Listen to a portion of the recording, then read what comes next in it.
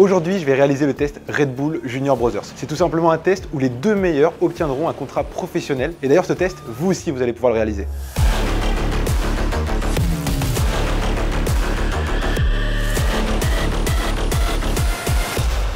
Et salut tout le monde, aujourd'hui on se retrouve pour une toute nouvelle vidéo. Aujourd'hui on va réaliser le test de Red Bull Junior Brothers. Et pour ça, rien de mieux que d'être dans les locaux de Red Bull France pour le réaliser.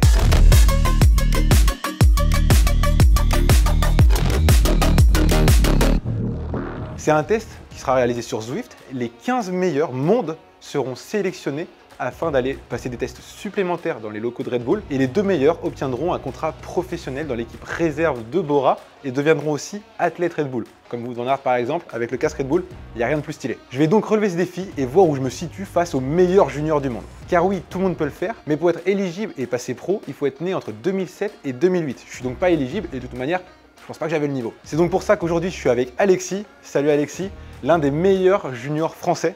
Je te laisse te présenter en quelques mots. Bah, du coup, moi, c'est Alexis Bouteloup. Donc, euh, je suis coureur au team Avenois. Et donc, euh, bah, on va te donner aujourd'hui. C'est quoi ton palmarès? Bah, J'ai gagné une manche du Trophée Madio, plusieurs manches du Challenge Thomas Vauclair, 11e des championnats de France l'année dernière, 13e des championnats de France cyclocross cette année en junior. Il a fait sa première course junior le week-end dernier. Il termine troisième. Beau jeu. Bah, c'est bien pour commencer. Ouais, c'est pas mal du tout. Bon, du coup, comme vous l'avez compris, j'ai un futur nom du cycliste français, j'espère. Ah, je l'espère aussi. Je vais donc le défier et on va voir s'il est capable de me battre. Moi qui suis cycliste amateur, VS un des meilleurs juniors français. Est-ce que j'ai le niveau? On va voir ça dans la vidéo. Dans un premier temps, il faudra créer un compte Zwift. Vous pouvez prendre la version d'essai, a 25 km offerts et le test n'en dure que 15. Ensuite, il faudra aller sur le site de Red Bull Junior Brothers, vous trouverez de toute façon tous les liens dans la description. Il faudra rentrer vos informations afin de vous inscrire à ce test et vous recevrez par mail le lien du workout. Bon, maintenant on va se peser parce que les watts c'est bien beau, mais le plus important c'est les watts par kilo, les watts divisés par le poids. Donc le poids est hyper important. On va voir ça. Attention. Bon, je suis un peu en prise de masse en ce moment, mais 78. Allez, à ton tour, Alexis. 78, c'est 5 kilos de trop pour euh, mes habitudes. Oh là 2 kilos de plus que ce qu'il a annoncé. Hein. 72. Non mais on aura surtout on est en fin de journée. Oui. c'est surtout ça. Bah, 72, 78, maintenant on pourra diviser par, euh, par les kilos et voir qui est le plus fort. Ce test, il est découpé en deux parties. La première partie, c'est un test sur 12 minutes. 12 minutes où on va se mettre à bloc. Le but, c'est de faire un maximum de watts sur cette 12 euh, minutes-là. Et pour le coup, le plus important, ça va être de gérer l'effort. Faut pas partir trop fort parce que sinon, on n'arrivera pas au bout de ces 12 minutes et la moyenne de watts sera bien moins intéressante. Pour ma part, du coup, je vais partir sur 350 watts. Je vais essayer de viser 350 et finir plus fort. Toi, je sais pas. Et moi, bah, je verrai bien en fonction des sensations. Ouais, au feeling, on verra. Allez, c'est parti. On part pour 10 minutes d'échauffement. Donc là, on est à 150 watts, c'est facile. Et le but, c'est de se préparer un peu parce que l'effort, il va être violent. 10 minutes d'échauffement, on fait tourner les jambes, on démarre le moteur tranquillement. Et après, on va vraiment euh, commencer à accélérer. Et là, on rentrera dans le, dans le vrai. En vrai, ça, me fait peur. 12 hein. minutes, c'est long. Hein. Ah, moi aussi, j'ai un peu Et j'ai jamais fait ça. Bon, maintenant, il n'y aura plus qu'à assurer. Hein. J'ai jamais eu autant de pression avant un test.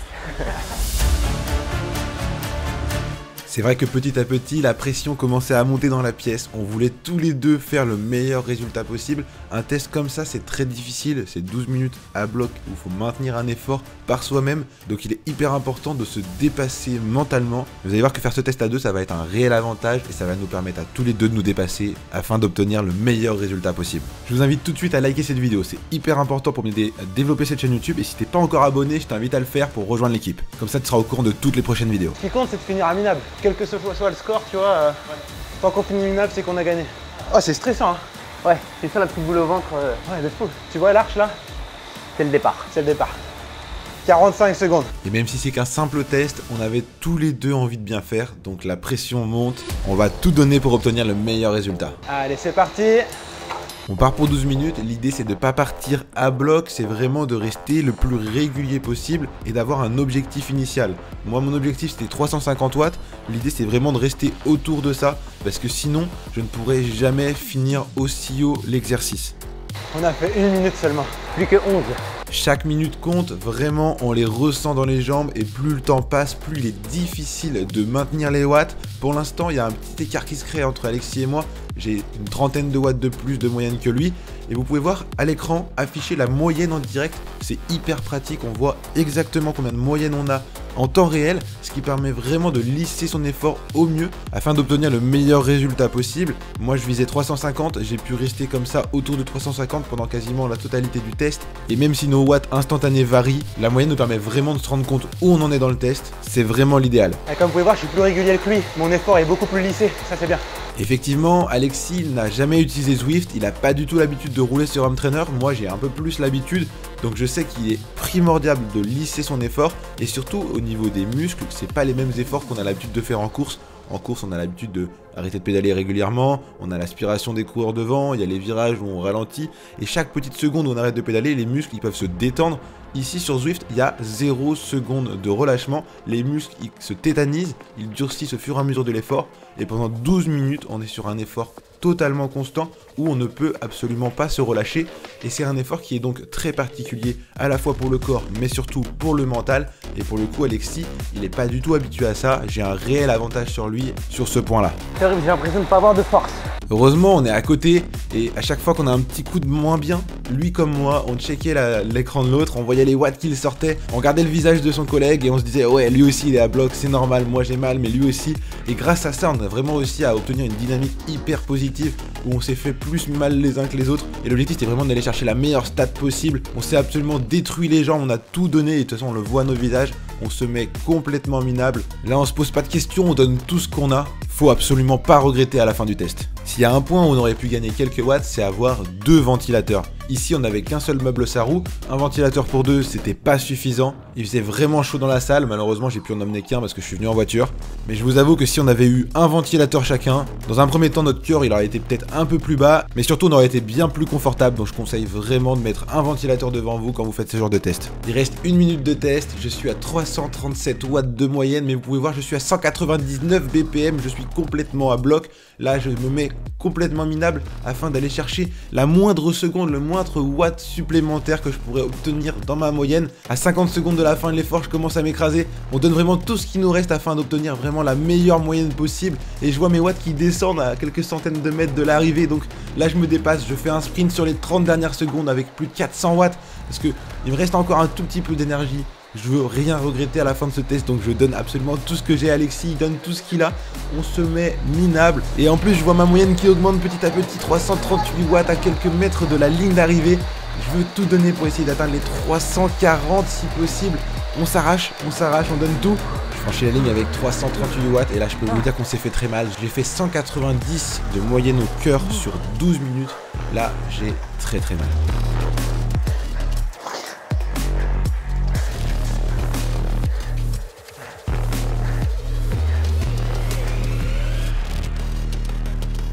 Ce qui a été très intéressant, c'est que moi j'étais vachement plus régulier que lui. Je suis parti à 350, j'ai fini à 340 je crois. J'étais très très régulier, ma ligne elle est quasiment droite sauf à la fin. Alors que lui, c'était vraiment très irrégulier. Pourquoi? Il n'a pas l'habitude de Zwift, c'est sa première fois sur Zwift. Et c'est pas du tout le même effort. D'accord? En fait c'est un effort qui est constant. On doit jamais arrêter de pédaler. C'est pas comme en course, t'es dans la roue, t'arrêtes de pédaler, tu récupères 5 secondes. Là, 0 secondes. 12 minutes, fond de balle, zéro récupération. Et ça, il n'a pas l'habitude. Je suis loin d'être un expert de Zwift, mais j'ai beaucoup plus d'expérience que lui. Et je pense que sur ça, c'est pour ça que j'étais beaucoup plus régulier. Et ça a fait la différence. Après, ça se trouve, il est devant moi au watt par kilo, vu qu'il fait 6 kg de moins. Ça, on saura à la fin. Il fait très très mal. J'avais l'impression de ne pas avoir de force, donc j'ai essayé d'y aller avec la tête. Et puis euh, dans les 30 dernières secondes, tout donner pour essayer d'augmenter les watts. Si t'étais pas là, j'aurais craqué au mental 10 fois. Moi aussi. Tout seul dans ma chambre, là, jamais je faisais pareil. Je pense que 2-3 fois, j'étais limite. Ouais. Et je te voyais souffrir à côté, je me dis non, je peux pas abandonner. Et c'est ça qui est bien, tu vois, c'est fait de faire ensemble. Ça, c'est vraiment stylé et c'est ça le sport, tu vois. Et euh, maintenant, il nous reste 15 minutes pour récupérer et on attaque 5 minutes à bloc. Et là, avec les jambes qu'on a, mon pote, là, ça va être dur. Départ dans 5 minutes pour le deuxième test, un test de 5 minutes. Ça correspond à un test de PMA. Personnellement, mon record, c'est 435 l'année dernière. Donc là, l'idée, ça va pas être de le battre parce que je pense pas être capable. On est en début de saison, je suis loin de mon pic de forme. Pareil pour toi d'ailleurs. Donc l'idée, avec mon entraîneur, on a discuté, c'est de viser 400-410 watts. Ça serait déjà pas mal en vue de mes conditions actuelles. Si jamais je fais mieux, c'est que je suis mieux que je le pensais. Là, l'idée, c'est de tout donner, rien regretter. C'est le dernier test. Hein. Ouais, c'est ça. Hein. Puis quand c'est fini, c'est fini. Là, il ne reste plus que 5 minutes de souffrance. Donc, euh, on donne tout, on regrette rien. On va prendre un petit gel d'ailleurs, un petit coup de fouet, 3-4 minutes avant le départ, ça va faire du bien. Ça permet de donner un gros coup de fouet et, et d'avoir de l'énergie instantanée qu'on va vraiment avoir besoin pendant ces 5 minutes d'effort. Là, je suis stressé. hein. Ah ouais? Ouais, de fou. Là, moi, non, ça va. Pour le premier, ouais, mais là, non. Je suis stressé parce qu'en fait, je sais que c'est court, mais c'est long, tu vois. Il va falloir partir fort, mais être intelligent. Vraiment, je vise 400 watts et j'espère pouvoir accélérer sur la fin. Ah, j'espère faire pareil. Allez, 10 secondes.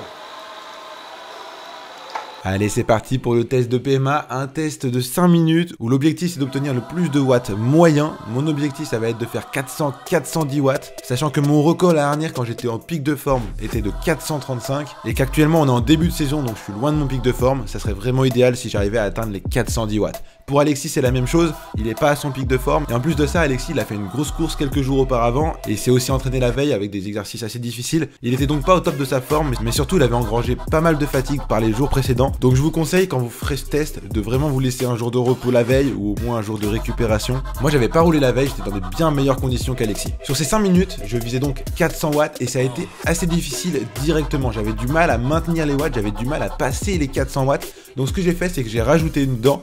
J'en ai un peu plus gros, malgré le fait que j'avais terriblement mal aux jambes, j'ai essayé de mouliner le moins possible pour compenser en fait le manque de puissance que j'avais bah, dans les médias. Et cette vitesse en plus m'a vraiment permis d'augmenter les watts moyens, malgré le fait que ça m'a absolument détruit les jambes, j'avais terriblement mal du coup. Heureusement, Alexis est à côté de moi, on s'est encouragé mutuellement de par l'effort. Et je pense que ça se voit sur nos visages, mais on s'est vraiment donné, on a donné tout ce qu'on avait en nous. 5 minutes, ça peut paraître très court, mais dans un effort aussi intense, je peux vous dire que c'est terriblement long. Au bout de 2 minutes 30 à la moitié du test, j'étais à 410 watts moyen, exactement l'objectif que je m'étais fixé, mais petit à petit je commençais à décrocher. J'avais de plus en plus mal aux jambes et je commençais vraiment à m'écraser. En fait, c'est hyper dur mentalement parce que la douleur est très intense, le cœur il est très haut. Sur 5 minutes, j'ai fait 193 au cœur de moyenne, je suis monté à 202 sur le final. Et petit à petit, à 2 minutes de la fin, j'ai vraiment eu un coup de moins bien où j'ai perdu vraiment l'élan que j'avais depuis le début. Mais j'ai réussi à me ressaisir à 30 secondes du final, je lâche tout ce que j'ai, je réussis à maintenir pendant 30 secondes des watts hyper élevés. Et je vois ma moyenne qui remonte petit à petit, 397, 398, 399 et limite je lance le vélo sur la ligne pour passer les 400 watts 00 au moment où je franchis la ligne. On est à bloc, là c'est difficile, il va nous falloir quelques secondes pour s'en remettre.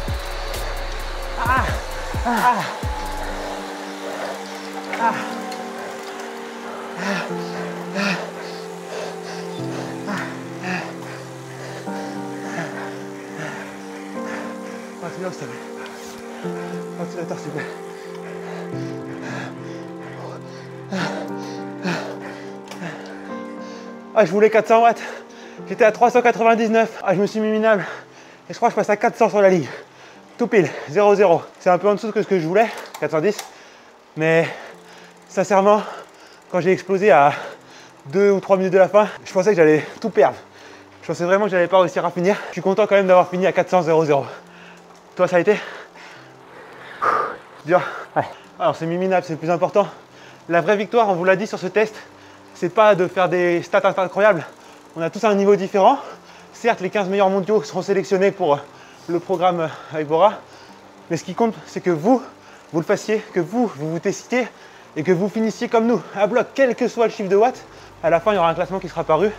Vous pourrez voir un peu euh, combien vous avez fait face à tous les gens qui participeront, face à, tous les meilleurs juniors mondiaux. Même toi, du coup, particulièrement les juniors. hein. Si vous êtes junior, faites-le. Et, et en une heure, vous avez participé au test. Et euh, qui sait, ça se trouve, vous êtes euh, dans, dans les 15. Et si vous êtes dans les 15, ça va peut-être changer votre vie. Et je pense, euh, si on veut vraiment euh, le faire pour être sélectionné, il faut le préparer comme un gros objectif. Parce que c'est ultra physique, ultra dur.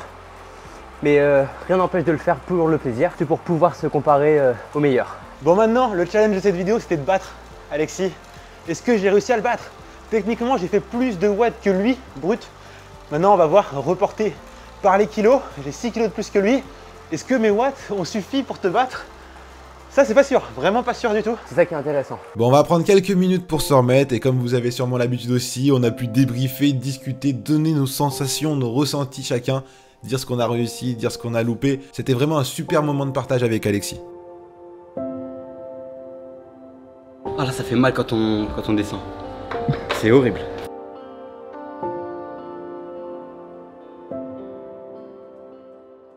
Bon, ça y est, l'entraînement est fini. On a tous les deux mené à bien ce test finalement quand même. Ouais, bon on en a chié mais bon c'était plutôt pas mal. Ouais, on s'en est plutôt bien sorti. Il y a des points améliorés, je pense. Oui. Je pense que tous les deux, on a, des petits points améliorés. Mm -hmm. Déjà, à mes yeux, le gros point amélioré que je vous conseille de mettre en place, c'est un ventilateur. Là, on a tous les deux eu chaud. Notre cœur est monté Mhm. assez haut dû à la chaleur. Je vous conseille vraiment de mettre en place un système de ventilation.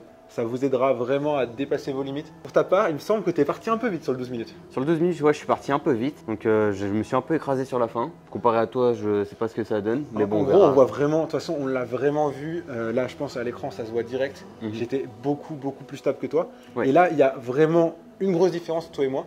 Et c'est pas le niveau, c'est l'expérience de Zwift.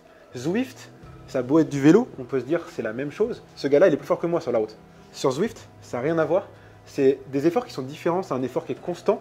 Et il n'y a pas de moment de répit, c'est-à-dire que c'est des watts constants. Là, tu as dû le Mhm. voir. C'était sa première fois sur Zwift pour Alexis. Et en Mhm. l'occurrence, euh, je crois que ça t'a fait tout drôle un peu. Ah, ça m'a fait bizarre de pas pouvoir euh, récupérer, de pas pouvoir profiter de l'aspiration. Et on le voit direct à tes statistiques, tes trucs qui sont comme ça. Mm. Alors que moi, c'est vraiment beaucoup plus lisse. Et de toute manière, on l'a vu à la fin, tu as été capable de faire un sprint. Ouais. Pas moi. Ça veut dire qu'il t'en restait, ça veut dire que tu étais capable de faire plus, je pense. Enfin, je me suis pas assez entraîné sur Zwift pour, euh, pour espérer mieux. Donc là, c'était un manque d'expérience. Et c'est là que ça va être intéressant, c'est que vous, comme Alexis, vous, allez pouvoir le tester chez vous. Et ensuite, si jamais vous considérez que c'est pas le meilleur score que vous avez fait, vous allez attendre deux jours minimum parce que c'est comme ça que ça fonctionne. Mais dans quelques jours, quand tu considéreras que ça sera mieux, un jour où tu auras peut-être moins roulé la veille, parce que tu as fait un grand Ouais. entraînement hier aussi, ça Mhm. c'est important de le souligner. Moi, j'ai pas roulé hier, tu vas pouvoir le refaire et je pense, pour être sincère, je suis quasiment sûr que tu vas battre encore. Pour moi, tu vas te battre. Moi, j'espère. C'est sûr. Ça serait C'est bien. sûr, c'est sûr. Donc euh, bah, maintenant, il va être temps de regarder les résultats, parce que c'est ça qu'on attendait. Est-ce Ah bah que oui. je t'ai battu? Sur le test 12 minutes, j'ai fait 339 watts de moyenne. Ce qui est pas mal. Pas peu fier. Pour ta part, tu as fait 284 watts, ce qui est donc un peu en dessous. Sauf que lui, il fait 72 kg, je fais 78 kg aujourd'hui. Donc il y a vraiment un écart de, de poids, il y a 6 Mhm. kg. Ce qui est rapporté en watts par kilo, pour ma part, ça fait 4,35. Donc là, c'est un chiffre qui, pour le coup, est universel, quel que soit le poids. Ça, c'est vraiment le chiffre auquel on peut se, rep- enfin, se repérer. Ouais. Moi, j'ai fait 4,35. Toi, tu as fait 3,94. Aïe. Donc je t'ai battu. Ouais. Je t'ai battu sur cet exercice. Encore une fois, c'est vraiment ton manque de régularité là qui a été Ouais. euh, ton gros défaut et euh, bah, du coup dû euh, au manque d'expérience. Parce que je pense qu'on refait la même chose sur la route ou même une course, hein, une course Mhm. euh, réelle. J'ai aucune chance, tu vois. Ouais. C'est sûr. Ensuite, sur le test de 5 minutes. Bon, après, du coup, j'avais mal aux jambes du test de 12, mais je pense que c'était pareil pour toi. Ah oui, ouais. Donc, il n'y a pas d'excuse et bah, on verra bien. Tu as fait sur le test de 5 minutes 306 watts. Donc euh, c'est un peu loin de tes objectifs. Encore une Mhm. fois, je pense que euh, l'entraînement d'hier, ça n'a pas dû t'aider. Non, c'est sûr que ça m'a pas aidé, Faut que tu le refasses quand tu seras frais. Ouais. Et c'est sûr que tu vas te battre. Ouais. Tu vas battre ton. J'ai fait 400 watts 0-0. Je vous l'avais dit tout à l'heure. Je me suis battu jusqu'à la ligne pour claquer les 400 watts. Ça, c'est vrai. Ouais, c'était juste, hein. 400 0-0. Ce qui fait pour ma part avec mon poids du 5.13. Donc c'est un peu en dessous de mon record. Parce que mon record, moi j'avais fait 435 et à l'époque je faisais 73 kg. Donc euh, j'avais fait plus de watts et j'étais plus léger. Donc euh, je suis loin de mon record, mais on le sait très bien. Je suis loin d'être au top. On est en début de saison. Lui comme moi, on n'est pas dans notre pic de forme. Il y a encore une grande marge de progression. 5.13 pour moi et toi tu es à 4.25. Quasiment un point d'écart. Mm. Euh, là en fait, euh, ouais, l'écart sur 5 minutes, c'est vraiment créé entre toi et moi, tu vois. Mm. Il y a vraiment un plus gros écart. Bon, bah, je t'ai battu. J'en ai réussi ce défi, les amis. J'ai battu l'un des meilleurs juniors euh, de France. Et ça, c'est pas peu fier, hein, parce que c'était pas gagné. Mais je n'en doute pas, il me battra quand il refera courant du mois. Et bah, j'espère que vous aussi, vous allez le faire. Et je compte vraiment sur vous. Faites-le ce test, que vous soyez junior ou pas junior. Si vous êtes junior, vous ferez partie bah, du, test de repérage. Les 15 meilleurs seront donc sélectionnés pour passer les tests et peut-être passeront pro dans l'équipe Bora Réserve. Mais si vous n'êtes pas junior comme moi, eh bien faites-le quand même. Franchement, ça coûte rien, c'est hyper cool. Vous vous mettez minable, vous regardez votre score et je compte vraiment sur vous pour que vous reveniez sur cette vidéo et vous me mettiez dans les commentaires votre score. Vous mettez votre score, votre poids. Si vous arrivez à faire la petite division et vous mettez votre euh, watt par kilo, c'est encore mieux, comme ça on saura un peu qui sont les meilleurs. Je compte sur vous. En tout cas, merci d'avoir regardé la vidéo jusqu'au bout. Merci à toi Alexis d'avoir participé, d'avoir judge. Ouais, merci à toi de m'avoir invité. C'était très cool. plaisir. Et puis bah, je vous dis à la prochaine, dans une prochaine vidéo. Bye bye. Salut.